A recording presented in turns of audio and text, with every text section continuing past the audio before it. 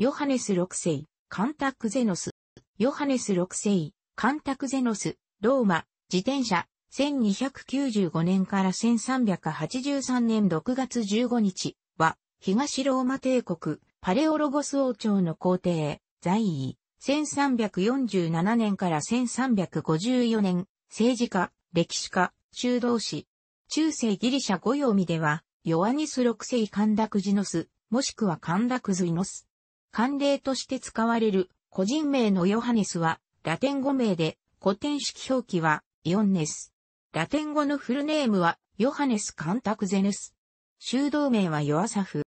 カンタクゼノス家は11世紀末に、初めて歴史上に登場する帝国の名門で、マヌエル一世、コムネノス帝の時代には、皇帝の宴席にも名を連ね、その他の帝国の名門とも婚姻関係を結んでいた。後に皇帝となるヨハネスの血統的出自に関しては、不明なところが多いが、祖父と目されるミカエル・カンタクゼノスが、東、ローマ領ペロポネソス半島で、対アカイア広告戦域に従事しており、父、奇妙なことにヨハネスは、自分の父親の名前を、自らの歴史書に記録していないも、ペロポネソスの行政官を務めていた。また母テオドラ・パレオロギナ・カンタクゼネ、1342年没、バミエル8世、パレオロゴスミカドの姉マリア・マルサ・パレオロギナ、1215年から1267年の孫娘である。父は1294年頃、ヨハネスの誕生を前に死去した。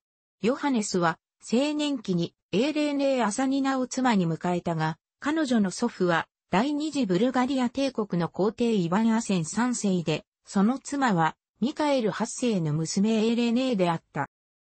ヨハネスの生涯と経歴は、主として彼自身の著作である、歴史によって知ることができる、著作に関する詳細は口述。彼が最初に世に出るのは、1320年のアンドロニコス3世、パレオロゴスが起こしたスキャンダルとその後の定位継承者変更に伴う騒乱においてであった。当時はメガスパピアスなる職務にあったカンタクゼノスは同世代の友人であったアンドロニコス3世、及びいち早く彼のもとに加わった、シュルニアンネスパレオロゴス・イラントロペノスの説得受け、バルカン半島西部で行政官を務めていたテオドロス・シュナデノスと共にこの陣営に加わった。カンタクゼノスはその政治的手腕を活かし、コンスタンティノポリス市民に対しては、政治の刷新と減税などの宣伝を行って支持を集める一方、首都に近いパラキア地方の行政官職を倍官て、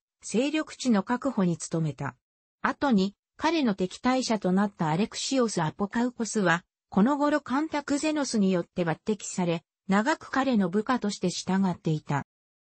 翌1321年からは、公然たる内乱に突入し、その数勢は何度か変動を見た。特に、アンドロニコス3世が優位に立つにつれ、勝利後彼のもとで第1位を占めるのが誰になるのかで、カンタクゼノとシュルギアンネスが対立し、結局後者は敵側、アンドロニコス2世、パレオロゴスの陣営に寝返るありさまであった。いずれにせよ祖父と孫とのこの争いは1328年、孫アンドロニコス3世の勝利で終わった。祖父アンドロニコス2世は大使修道院に入った。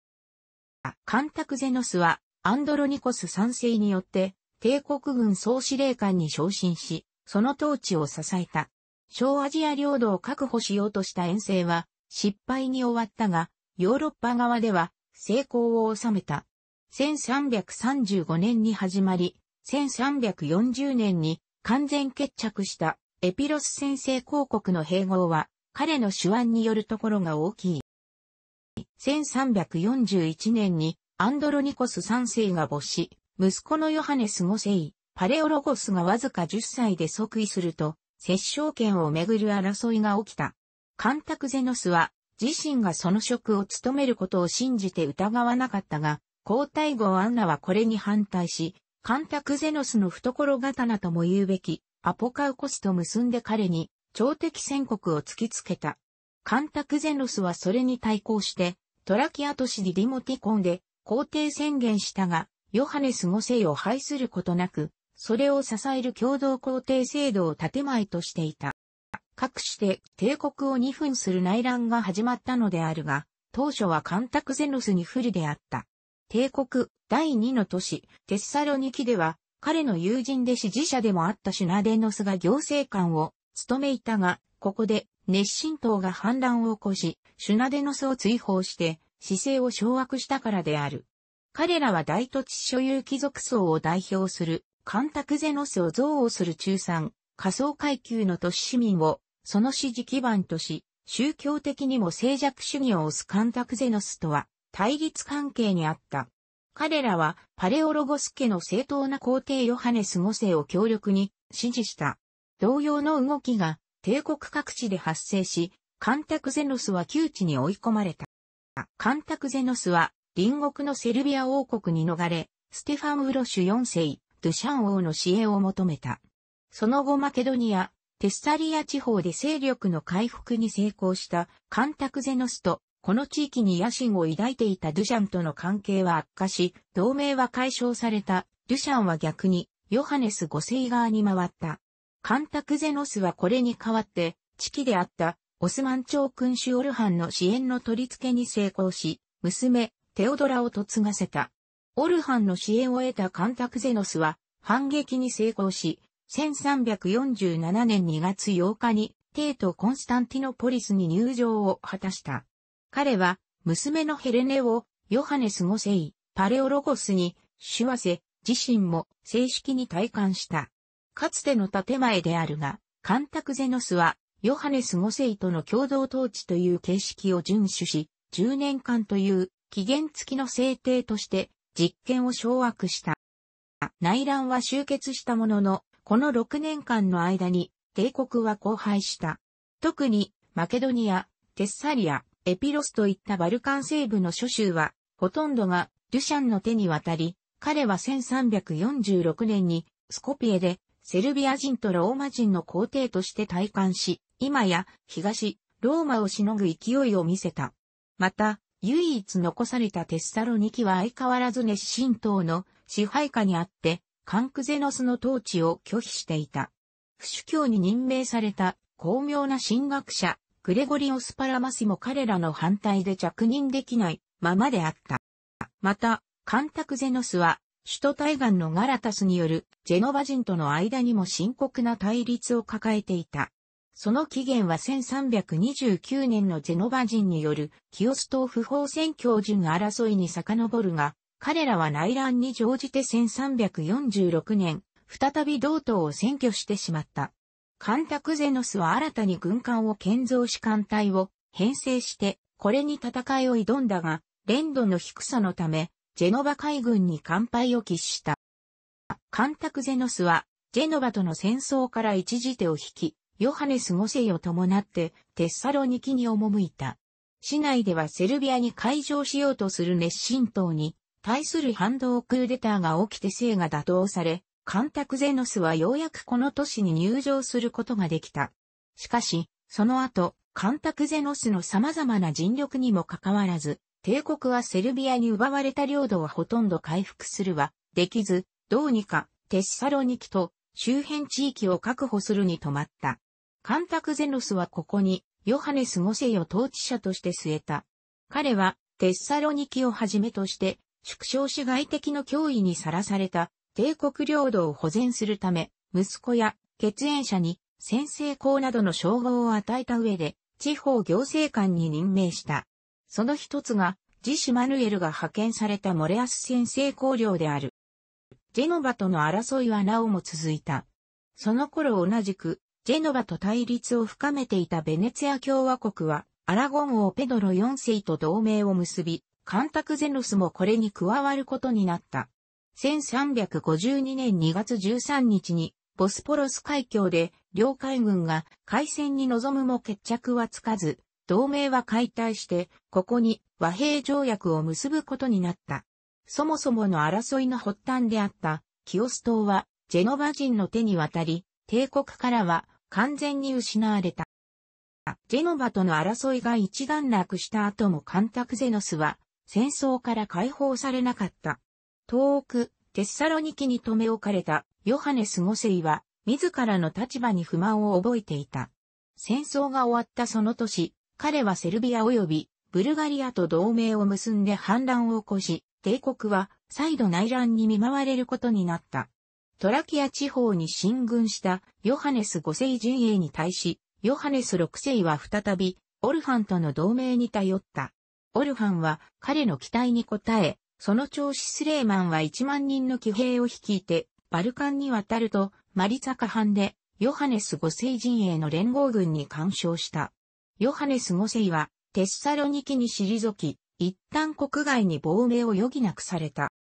パレオロゴス家を帝権から排除したヨハネス6世は、カンタクゼノス王朝の創設に一歩を踏み出し、長子マタイオスを正式に共同皇帝、後継者に擁立しようとする。当時の総主教カリストス一世は、マタイオスへの体感を拒否して罷免され、公認のフィロテオス一世、コキノスによって、マタイオスは1353年4月、皇帝として体感を受けた。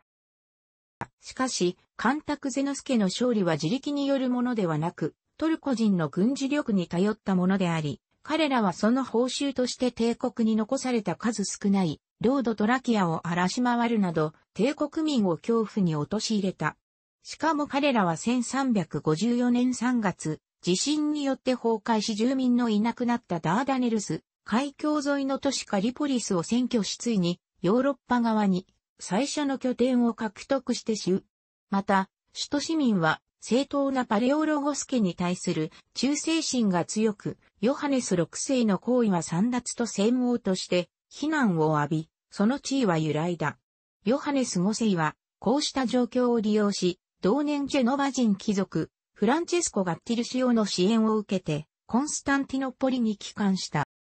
12月9日、ヨハネス6世は妻エレーネーと共に引退し、修道院入りすることとなった。その後、1361年頃ジシマヌエルが統治するモレアス先生公領に赴き、時折首都を訪問する生活をしながら残る生涯を、主として神学関係の著述に捧げた。1376年のアンドロニコス4世、パレオロゴス反逆の際には首都にいて、一時拘束されている。1383年6月15日、ミストラスにて死去。オスマン朝のバルカン進出のきっかけを作った人物として帝国滅亡に重大な攻めありとみなされているカンタクゼノスであるが、実際にはもっと複雑な状況が絡んでいる。帝国は、この時期、南進を目論むセルビア、東地中海の政界権を握ろうとするベネツや、ジェノバの野心にさらされていた。カンタクゼノスは、こうした状況を切り抜けるにあたって、オスマン朝、ことにオルハンとの個人的な同盟に頼ろうとしたのである。実際、オスマン朝の組織された軍事力を得ようとしたのは、セルビア・オードシャンやヨハネス5世にしても同様であった。ただ、カンタクゼノスの手腕が彼らより勝ったに過ぎない。無論、彼がこの極めて個人的関係に依拠した不安定な同盟関係に頼り続けたため、帝国に明らかに悪い影響を残した点は否定できない。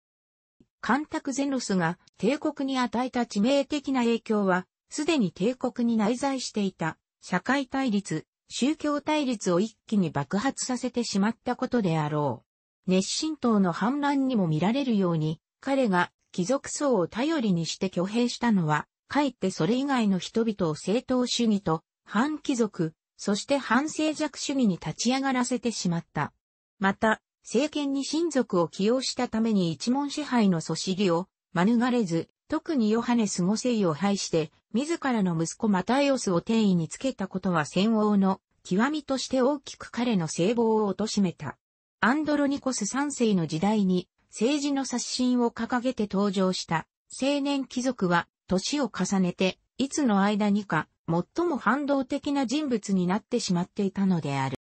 カンタクゼノスは疑いなく、優れた政治家、軍人であり、その政策自体は大半が的確であったと言える。しかし、前述の通り彼の政治生活は大半が反対派との闘争に明け暮れ、ほとんどの成果は一時的なもので終わった。その中での継続的な成果は、親族による帝国領土の行政権分担という極めて現実的な制度の思考である。特にジシュマヌエルが派遣されたモレアス先生公領の創設はその後の帝国存続の基盤を提供し、彼の退位後も続くパレオロゴス王朝の所定によって継続されていった。カンタクゼノスは当時有数の教養人であり、クリストドロス、キリストの僕というペンネームで様々な著作を表した。その他の著作は主に静寂主義を扱ったキリスト教神学関係の著作である。イヴァン・アセン三世の孫娘エーレーネー・アサニナの間には3人の息子、4人の娘が生まれた。娘については、それぞれの誕生順が明確ではない。楽しくご覧になりましたら、購読と良いです。クリックしてください。